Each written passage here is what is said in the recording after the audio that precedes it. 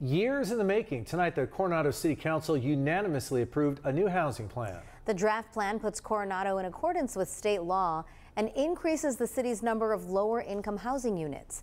CBS 8's Jasmine Ramirez was at tonight's meeting and shares how people are responding. The plan would open the door for more than 1,000 new housing units to be built in Coronado. About half of these would be lower income housing.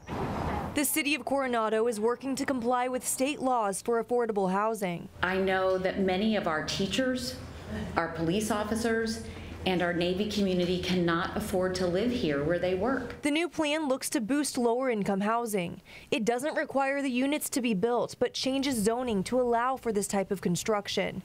The plan includes adding more accessory dwelling units and adding kitchens to carriage housing. The city has identified 10 sites around Coronado where new housing might be built. As we learned tonight, many residents are pushing back. Where do we draw the line? Do we fight now? Do we fight later?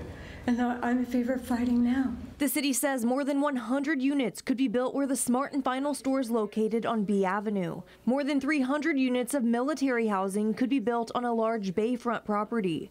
A site owned by the Coronado School District, known as Site 9, allows for an additional 100 units. You go past Alameda and there's a special little world there. What you're proposing with Site 9 will nuke that. My big problem is traffic.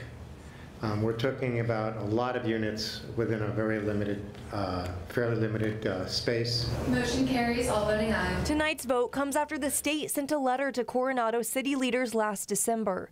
It said the city is out of compliance with the state's affordable housing requirements. If Coronado didn't do something soon, the state has threatened to fine the city between 10 and $100,000 per month for persistent noncompliance. If Coronado remained noncompliant, a court could then multiply those penalties. After hearing from more than a dozen residents, the city council voted unanimously to send the draft plan to the state. And they're hopeful to get approval in the spring, which would put Coronado in accordance with state law. Jasmine Ramirez, CBS 8.